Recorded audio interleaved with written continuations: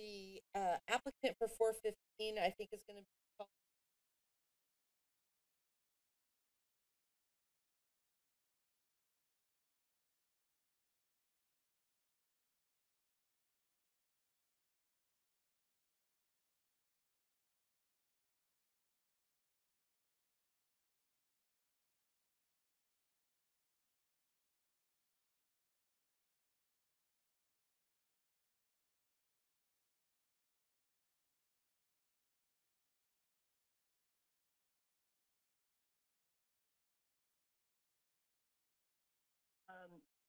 Thank you so much, Tess. Um, Just for commissioners, uh, probably what I'll go ahead and do is when we wrap up the staff report and uh, go to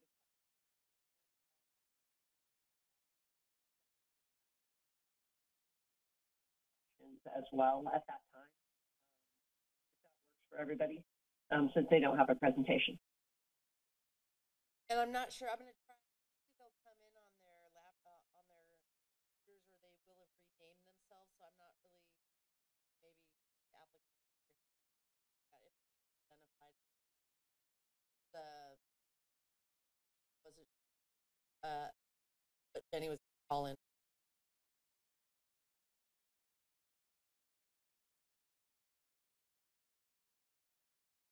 Hi, this is Commissioner Maxwell. Um, can you guys hear me? Yep,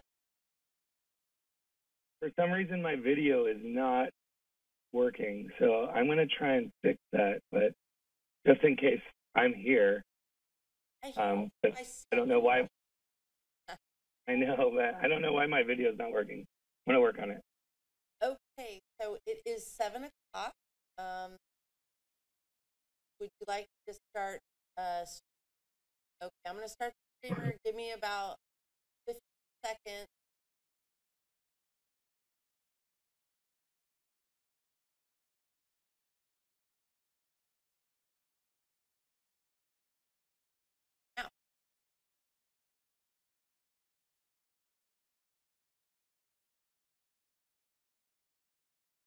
Hey, it's seven o'clock, and I'm going to go ahead and call the March 17th meeting of the City of Santa Cruz Planning Commission to order. Uh, Clerk, can we have a roll call, please? Commissioner Conway, Here. Greenberg, Here. Kennedy, Hi. Maxwell, Here. Here. Katie Miller,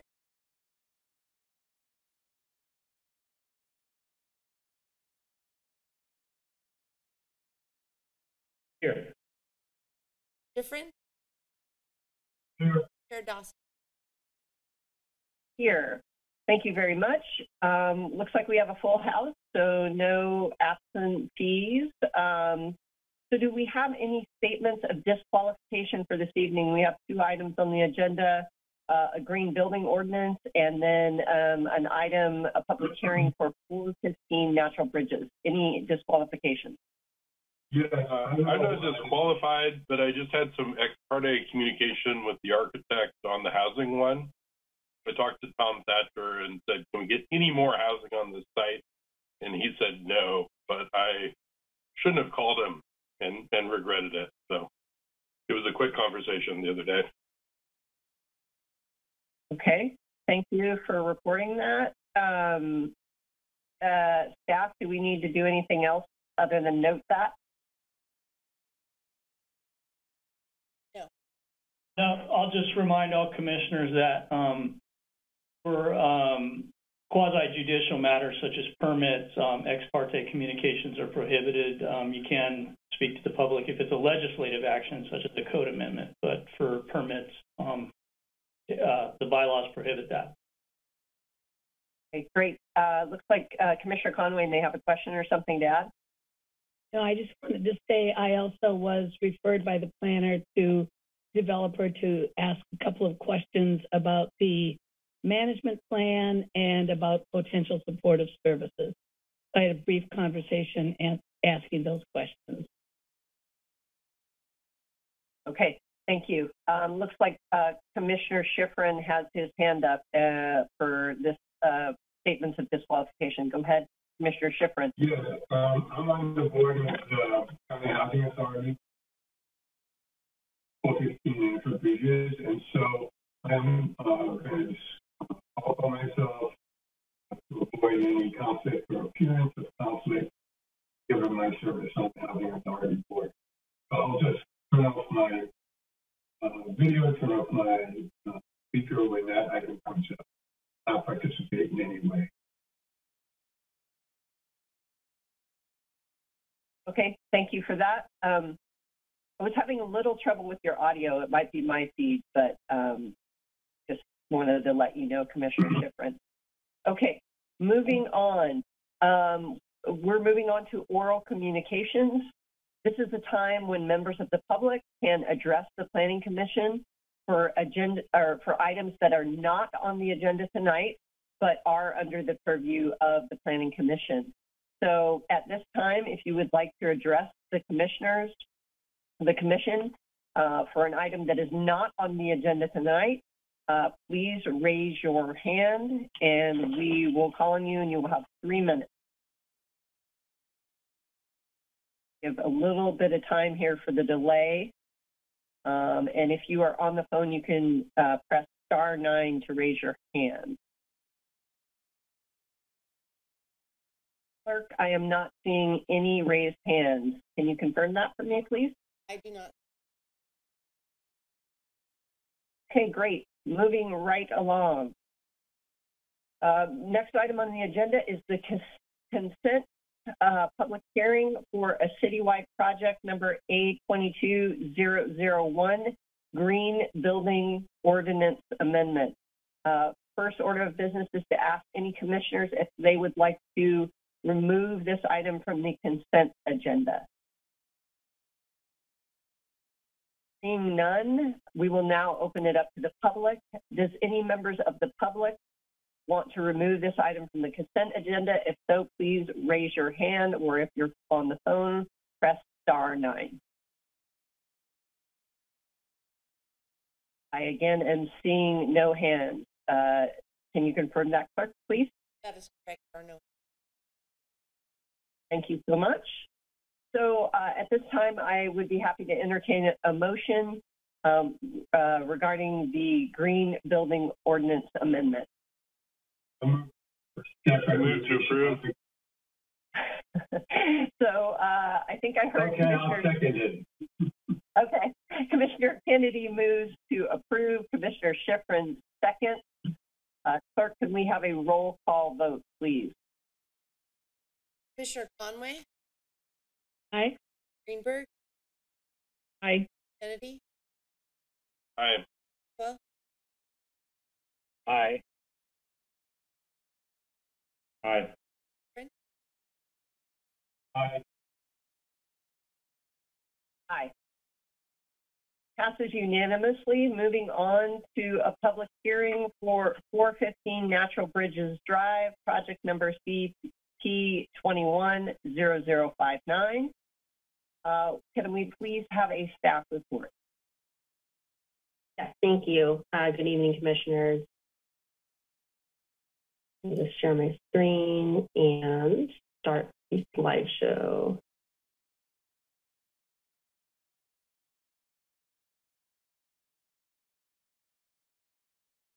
Okay. Okay, so um, this is a project submitted by the Housing Authority. They have applied for a plan development permit, design permit, full permit and lot line adjustment permit to construct a 20-unit single-room occupancy, AKA SRO, project that will be 100% affordable to very low-income tenants. The project requires two hearings, one with the Planning Commission and one with the City Council. The Planning Commission will provide a recommendation to the City Council, who will make the final decision on whether or not to approve the project. There are a number of general plan policies that support the pro- proposed project that are detailed in the staff report. Um, these policies relate to goals to provide affordable housing, um, to promote development of smaller housing units, um, promote infill development, and to facilitate the efforts of nonprofit organizations.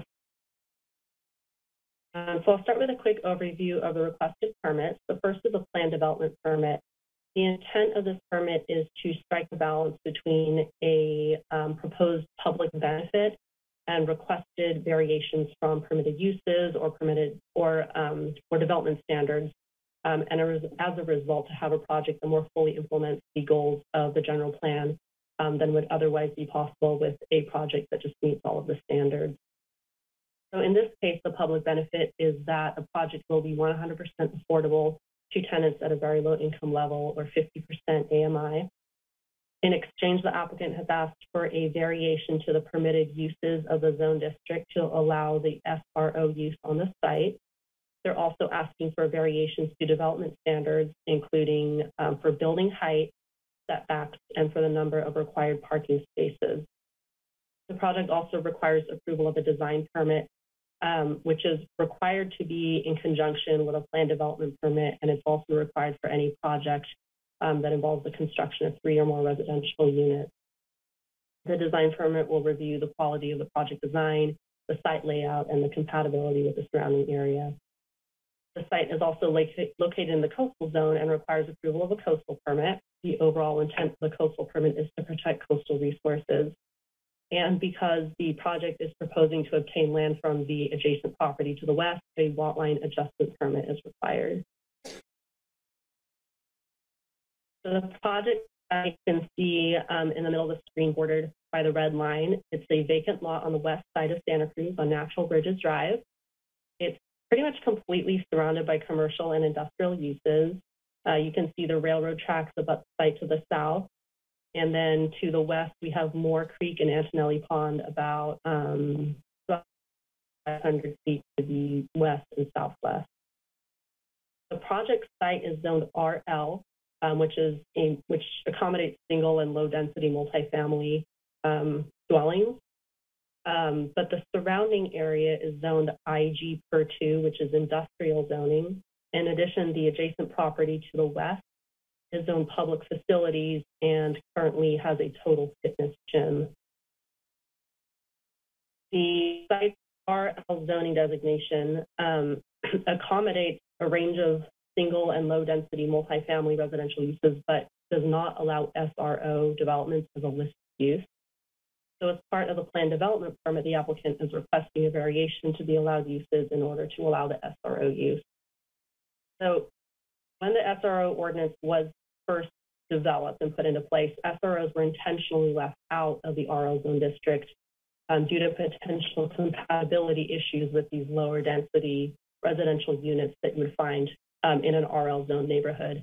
Um, so typically staff would not support an SRO use in the RL zone, but in this case, it's the only RL zone lot completely surrounded by commercial uses. So there's no, um, that, that potential impact is just not there. In addition, um, since the SRO projects are exempt from the density restrictions that would apply to a regular apartment project, allowing an SRO use here um, would provide for more affordable housing units than would be allowed if the applicant just pursued a standard apartment building. Um, here they're applying for 20 units, whereas if they just did a regular apartment building in the RL zone, they would get maybe nine units at the most. Excuse me.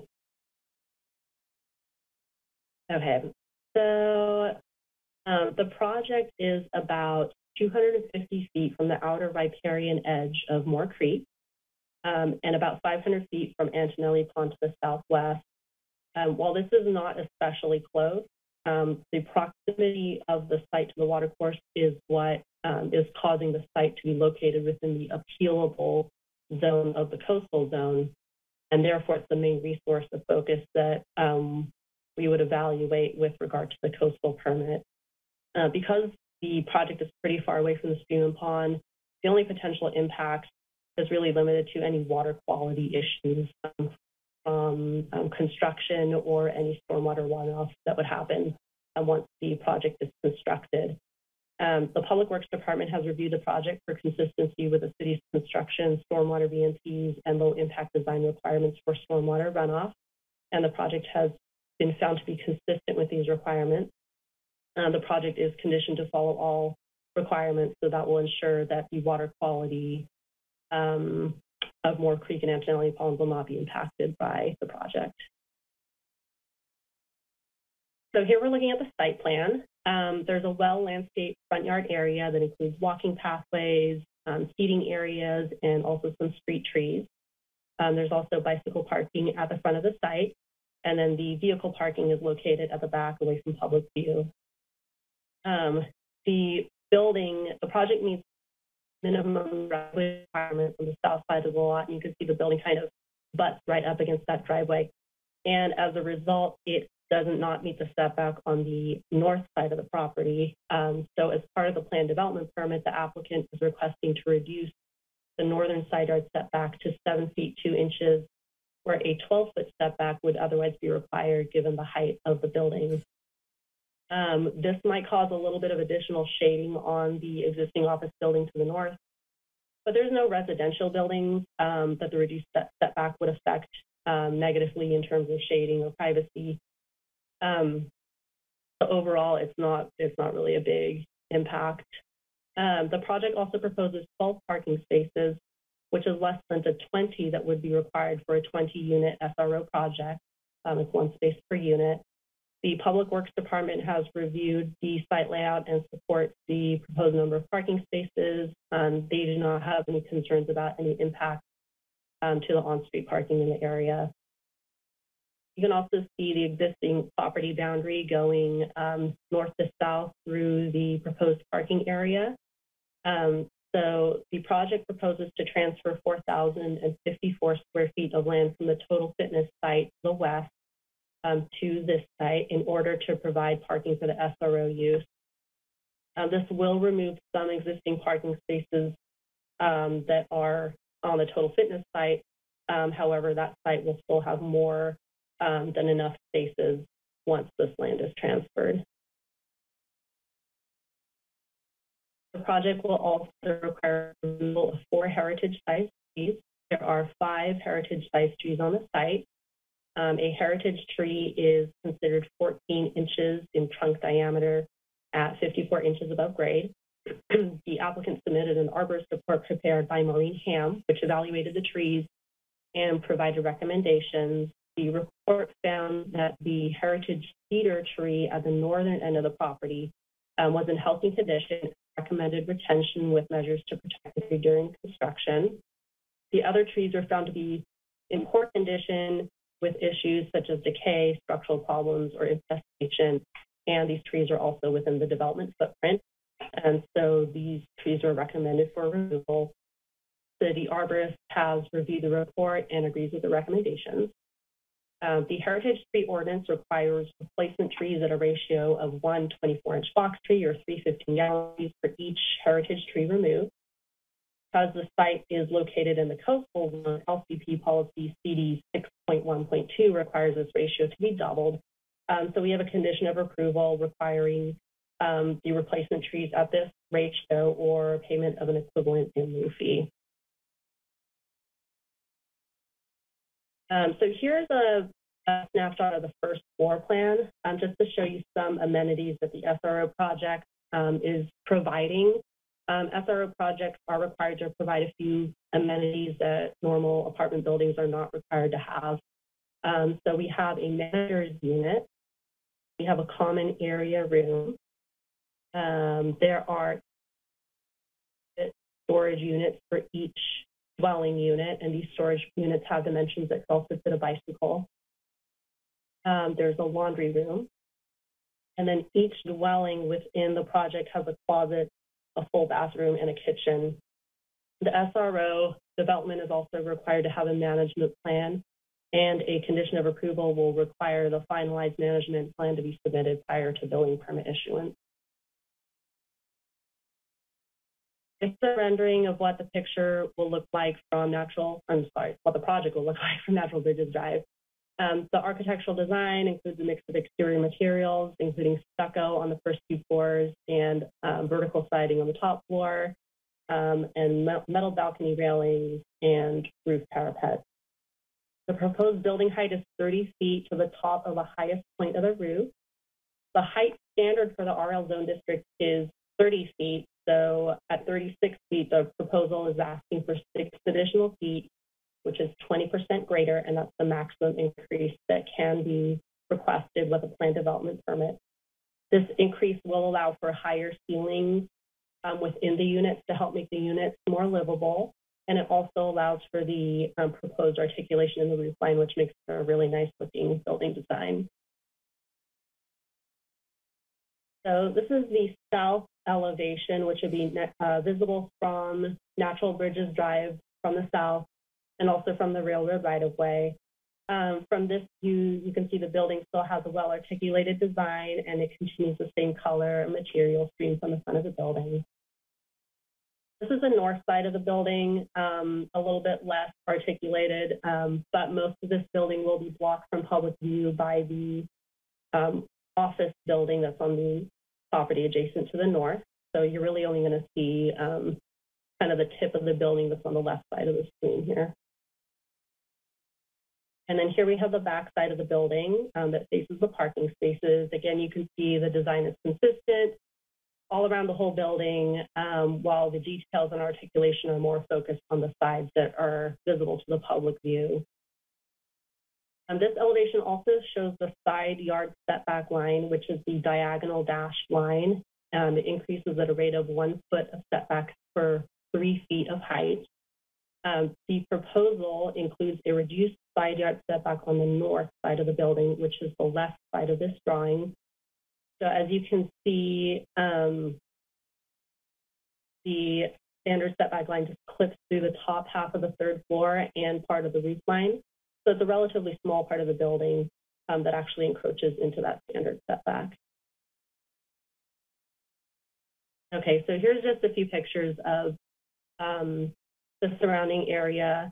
On the, the, top left, we have looking at the project site and then south across the railroad track. And then the top right, you see that two-story office building um, to the north. And then on the bottom, we have a side-by-side -side of the proposed building with the office building. And the proposed building is a little bit bigger, um, but it still fits in generally with the scale um, of the existing building on the adjacent site. And then here we have, looking across the street to the north, we have a very big um, two-story industrial building. And then looking to the south, we see railroad tracks and then a smaller industrial building. So overall, um, the proposed building is pretty compatible with the surrounding built environment um, in terms of its scale, its height, and its proposed design. If anything, it's going to look a lot nicer. Um, so overall, the feedback from the community has been positive for this project. The applicant held a community meeting for this project on June 28th of last year, which was required um, as this is considered a medium development project under the city's community outreach policy. Eight people from the public attended the meeting and expressed support for the project. The applicant has reached out to me with a concern about um, condition of approval number 17. This condition requires electrical transformers to be placed underground. The applicant has indicated that it may be cost prohibitive for the housing authority to do this, and they requested to allow the transformer to be placed above the ground.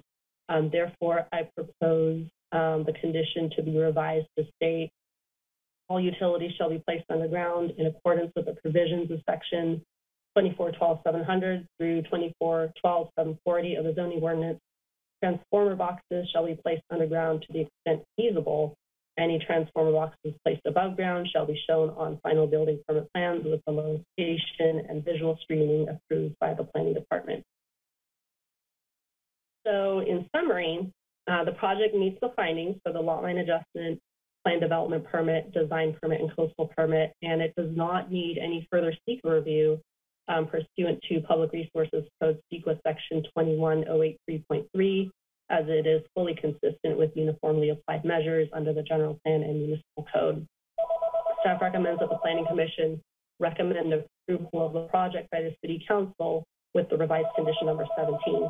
This concludes my presentation, and I'm available to answer any questions.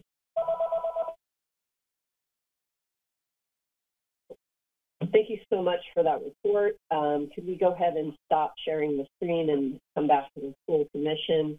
Uh, commissioners, this is a time when you could go ahead and ask any clarifying questions from staff. Um, I do see the applicant on the line, and this would be also a time where we could go ahead and ask any questions directly of the applicant. So any clarifying questions about this project from any commissioner, for either the applicant or staff. Okay, uh, seeing none, um, we can go ahead and open uh, the public hearing.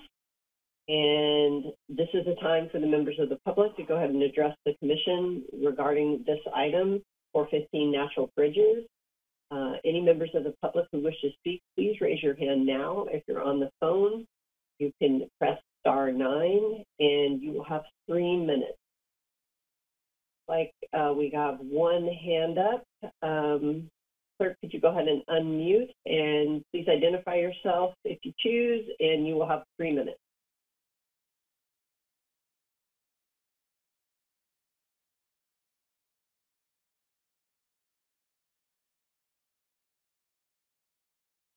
Um, if you're speaking, you're there. You go.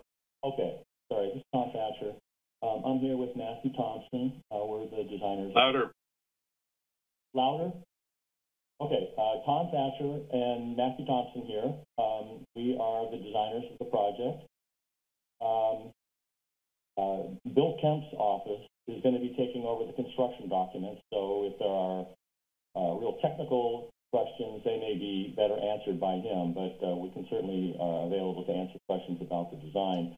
Um, I'd like to um, just uh, give a shout out to uh, uh, Clara. She was really a trooper and stuck with us for a couple of years of getting through this. It was a complicated project trying to find the right uh, way to uh, you know process it, and um, uh, she just answered innumerable questions and and uh, was a was a great help. So um, uh, thank you, Clara.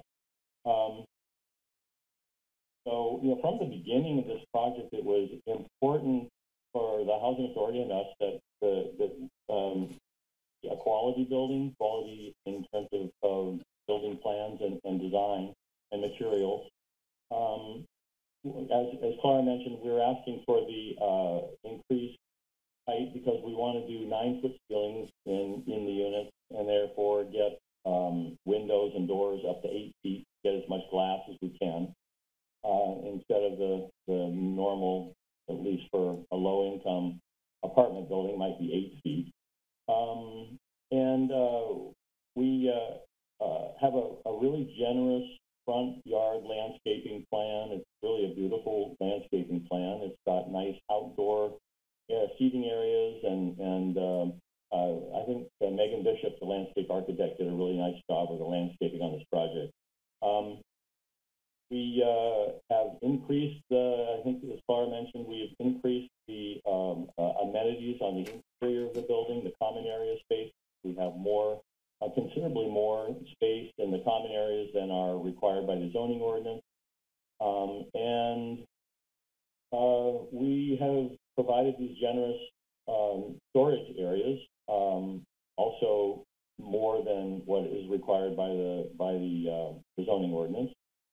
And uh, so, all in all, we think this is going to be a really, really nice place to live. It's uh, you know right down the block from Natural Bridges Park. Um, Total Fitness is right around the corner. Um, bus stop across the street. Farmers Market down the street. Uh, easy walking distance bike trail right out the door. Um, so uh, we think this is really going to be a quality place to live. So um, that's what I'm going to say right now. I am available for questions, and if you have any, uh, feel free to shoot. Um, but I know Jenny Panetta, the executive director, should be online and um, and would like to make some comments as well. Okay, thank you, Tom. Um, I do see Ms. Panetta on the line. Um, we'll go ahead and have uh, three minutes, and uh, go ahead, please. Thank you. Good evening, Chair Dawson and members of the Commission. My name is Jenny Panetta. I'm the Executive Director of the Housing Authority, and I'm really excited, really excited to be here tonight in support of our proposed affordable housing development on Natural Bridges Drive we all know that the need for affordable housing is just so much greater than what we have available to us in our community. The Housing Authority estimates that over 30,000 households in Santa Cruz County are income eligible for affordable housing, but less than 25% of eligible households have access to it. So clearly there is an urgent need for affordable housing of every type and every size. But at the Housing Authority, we've noted a particularly acute need for smaller units. There are over 12,000 households on our Housing Choice Voucher waiting list. Most of the applicants on our, on our waiting list, about 7,500 of them, are one or two person households, with the greatest portion of those applicants, over 4,200 applicants, being single person households. So the need for these smaller units is very real. I also wanted to add that this development represents a huge milestone for us here at the Housing Authority. And while I am very proud of the work that we do in providing rental assistance to thousands of low income families countywide, we have not actually participated in affordable housing development in decades. So we are really very excited about making this modest contribution to the supply of affordable housing, and we hope that there will be more such projects in our future. So um, yeah, I also want to take a moment to thank Clara for all of her assistance throughout this process, as well as thanking Tom and Matthew, who have really been just such a delight to work with and have held our hands as this is brand new territory for us at the Housing Authority. So thank you, uh, commissioners, so much for your consideration of our project, and I'm happy to take any questions. Thank you so much. Um, any other members of the public wish to address the commission on this item? I am not seeing any hands. Clerk, just to double check on that. Okay, we'll go ahead and then close the public hearing and bring it back to the commissioners. Um, we do have the applicant available for questions and also happy to entertain a motion um, if, if so moved.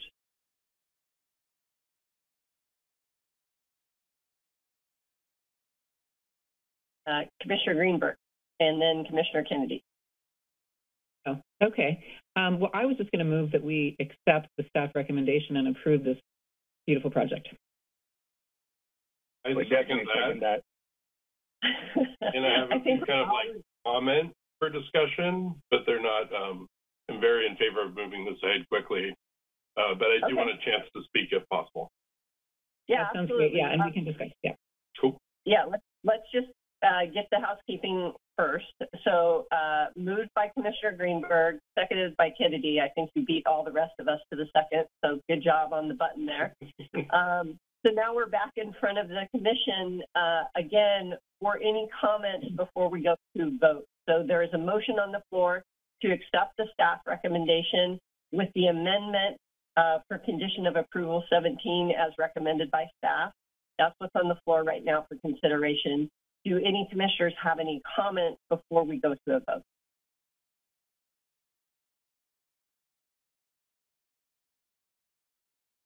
Okay, uh, Commissioner Kennedy, I was waiting for your hand there. Uh, go ahead. I can't wait to vote yes on this project. It's great. My only regret is that it's not a 20 story building.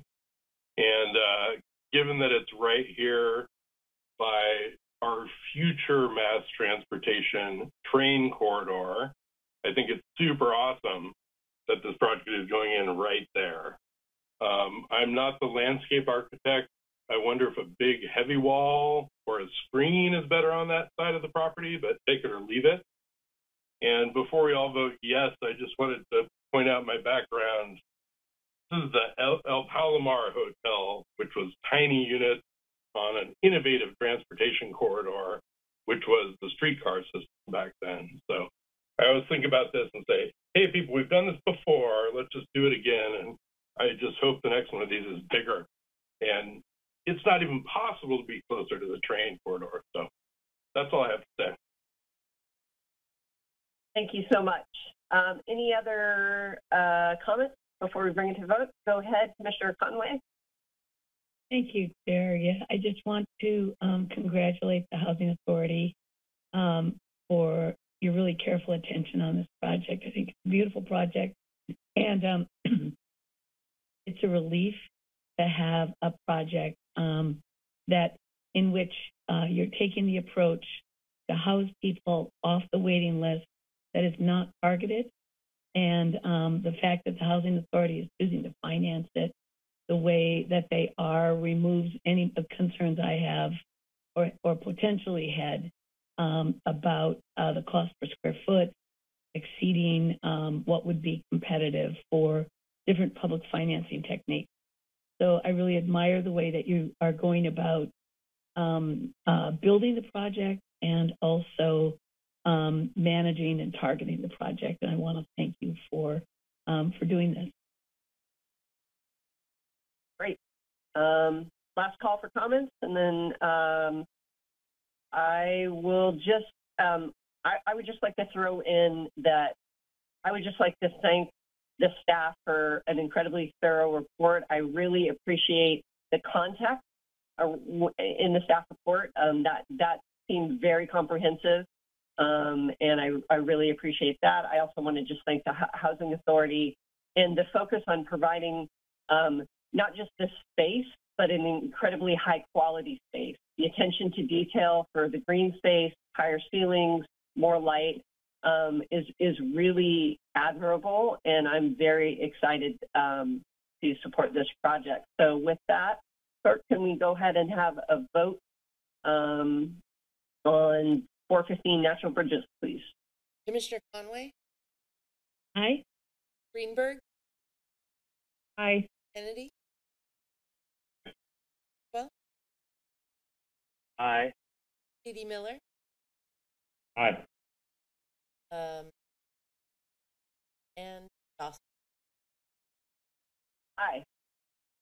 Passes unanimously, uh, which is great, and uh, congratulations to all involved. Uh, this is a really exciting project, so thank you so much for all the hard work. And we will uh, move it along here to informational items. Uh, any informational items? Uh, yes, a couple. Um, so the first reading of the flexible density ordinance was before the council on at its uh, March 8th meeting, and that was approved. So the second reading is scheduled for the March 22nd meeting next week. Um, the permit entitlements associated with the oversized vehicle ordinance um, that you had approved at your last meeting were uh, called up by Council Member Golder. so we are uh, we're expecting that a hearing is going to happen in April for that, so one of the April hearings. Um, and then looking at the uh, schedule for next month, um, there is nothing scheduled for the April 7th meeting, so you can consider that your spring break. And um, but on the 21st, we're going to be um, bringing the objective standards ordinances to you. So that's going to be a pretty um, meaty packet for you to uh, digest, and and um, so that'll be a big item. And that's all I have. Thank you so much. Uh, any subcommittee, advisory body, uh, or report? Okay. Um, any items referred to future agenda from any commissioners? Uh, yes, Commissioner Kennedy, please. This is not an, uh, this is just an idea for a possible future agenda item. This is not a political commission, but I've just been thinking about like rail and development and zoning and our trail. And I wonder if Chair wants to direct staff to like, you know, bring forward a brief report on the importance of long-term transit solutions. You know, something we could say, hey, this planning commission is 100% behind this at our next meeting. I know we'd be wading into politics, but we're there already. It's a tiny, tiny town. And I sure feel like it'd be good for us to come out in support of the planning we've already done to support that corridor and the planning we're going to do. And I just wanted to express that because I'm really feeling it this week. So maybe it's too much, but I thought I'd throw it out there. Sure, thank you. Um, uh, Commissioner Schifrin, and then I'll go ahead and go to staff and ask kind of what our options may be. Commissioner Schifrin? Between I wondered. To, to position on the, Commissioner Schifrin, I think we're having trouble with your audio.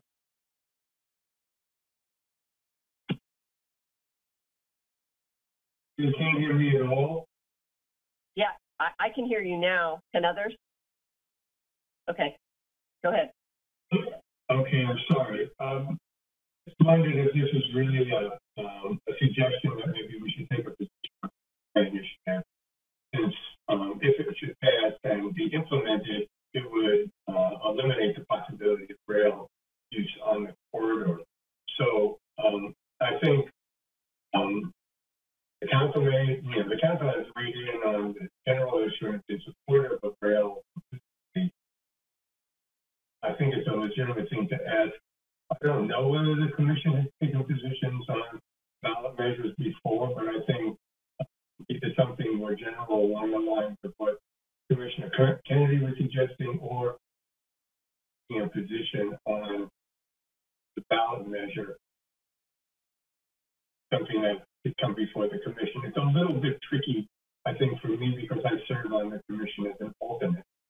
Um, So I might decide not to vote on it, although my actions on it, on the trans, on the Regional Transportation Commission are pretty consistently in favor of preserving the, uh, the cheap rail. But, you know, I think it, it is a relevant question to ask staff and I'm supportive of the direction Kennedy is suggesting that we move it.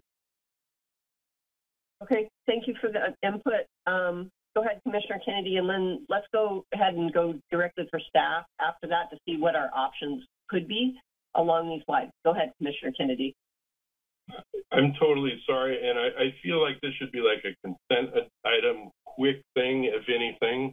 I am not suggesting we derail the planning commission to spend hours and hours on this, but um, that that was my intent. For sure. Let's let's go ahead and um, see if Mr. Marlatt may be able to provide us with a range of options um, based on what you said, and then maybe we can uh, kind of talk about what we may want to pursue. Go ahead, Mr. Marlatt. Uh, Mr. Marlatt, you are on mute. I've got two mute buttons I'm working with here, so thanks. Um, thanks for that clarification, Commissioner Kennedy. Um, I was going to say that this is uh, an item that would likely be handled by our advanced planning staff, and um, right now they're like over their heads in work. In addition to the objective standards uh, work that I just mentioned, they're also working on the downtown plan expansion that's expected to be before you in May. Um, and then housing element work, of course, um, which is also starting to um, intensify um, in the late spring, early summer months. Um, in terms of uh, Commissioner Schifrin's suggestion of um, whether it's within your purview to weigh in on a ballot measure, I, I don't know the answer to that. No. right now. Um, I could, you know, check in with the city attorney um, and also review the bylaws a little closer to see, you know, if that's something that we could agendize for you. Uh, so I have a sort of a clarifying question. So instead of going the route of directly addressing the ballot measure, is there an option for us to discuss um, why it uh, why it is more in alignment with the general plan and our approach to transportation to maintain both options moving forward, maintain the option for rail and trail moving forward. So as as a, a little bit of an end around, instead of saying yes or no for the ballot measure, can we talk about why maintaining both options makes the most sense? Is, is, is that a discussion we can have? And, and what would that look like? Yeah, I, I would want to, you know, before giving you an affirmative answer, I would want to look into to that with the city attorney uh, because I, I, I'm just to be honest, I'm not sure um, if that even falls within your purview, um, you know, as a commission. But I, I'm happy to look into it. Okay, well, I, I think we all, um, I'm seeing some head nods here. I, I, think it would be great if you could just uh, report back to us kind of potentially what the options are. Um, I, I think the route of not directly um, weighing in on ballot measure, but discussing um, more our approach to transportation is kind of what I heard from Commissioner Kennedy, and I'm very much in support of that as well. So um, that would be very helpful if um, we could report back um, at a later date. Sure. Okay, great. Thanks, Eric. I know how busy you are. I appreciate it. Thank you. Uh, anything else? Uh, is Commissioner Schifrin, is your hand up? Yeah. The, the commission is an action body, and you know I, I'm sympathetic to staff spending time providing informational items to us that are certainly of interest, of not really things that we can act on. So I'm trying to think of, that's why I suggested maybe we could take a vote on the ballot measure, because at least that's taking an action that's as the president, although I'm perfectly fine not doing that. Uh, I think there are lots of other for, fora where that where that's going to happen. I think maybe we need to think a little bit more before we have staff do some work on this about what would be the result of related to rail being on our agenda. Is it something that would you know, we could change the zoning ordinance to be supportive. One of the reasons why rail is so controversial um, in the county is because the board of supervisors allowed development within 15 feet of the rail line. So obviously, if when a train goes by, um, people are looking in your window, uh, looking in your backyard, it raises concern. So I don't know if there is any relevance or looking at uh, zoning or general plan policies that would be supportive of pursuing a rail option.